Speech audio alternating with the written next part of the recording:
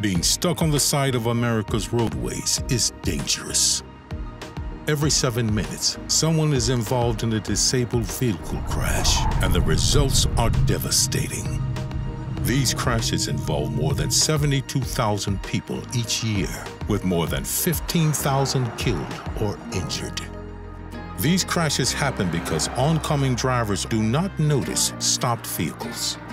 The standard hazard lighting system on today's vehicles was invented in 1951 and still operates the same way seven decades later.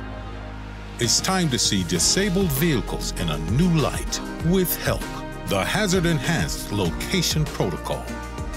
HELP makes disabled vehicles significantly more visible to oncoming traffic. When HELP is activated, whether automatically by a triggering event such as a significant crash, tire blowout, driveline failure, and other events, or manually by the driver once the vehicle is stopped and in park, two forms of advanced warning communications are activated. First, the vehicle's hazard lamps flash at a faster, scientifically proven rate that is much more effective at grabbing the attention of oncoming drivers than standard hazard flash rate.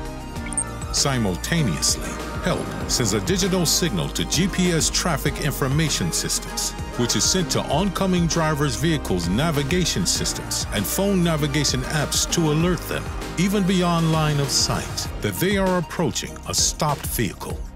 This combination of digital traffic notification and highly visible lighting work together to deliver a greatly improved advance warning to other drivers. It provides the vital seconds and minutes necessary to see and safely avoid the stopped vehicle on the roadway ahead. HELP is fully compliant with U.S. regulations and state traffic laws.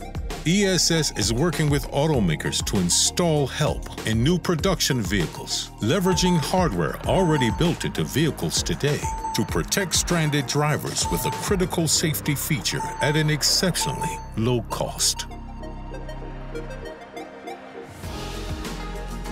This is the help drivers need until help arrives. Learn more at ess-help.com.